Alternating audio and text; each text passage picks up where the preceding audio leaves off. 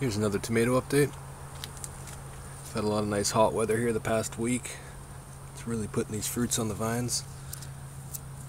These are the determinant type. Really bulking up. Huge plants.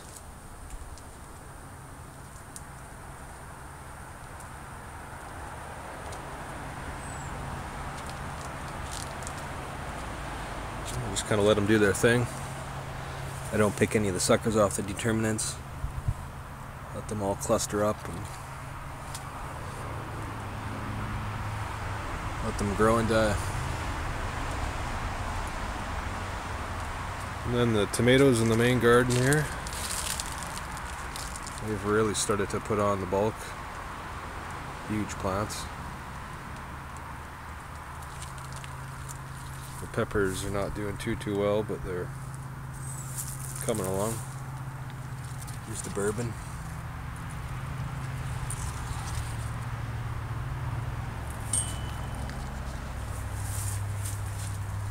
Tomato plants really are having the fruit throughout. Multiple clusters. Lots of nice fruit starting on.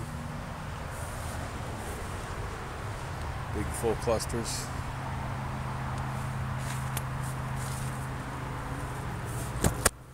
Probably be able to start eating these the next few weeks.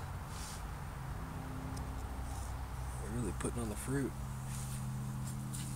This is super fantastic. Really nice plant.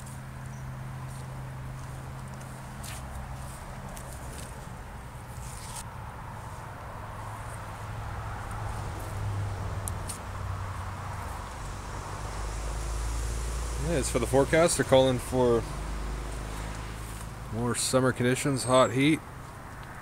Squelch these things pretty good. Kind of worried about it getting too hot. May want to put a cover over this and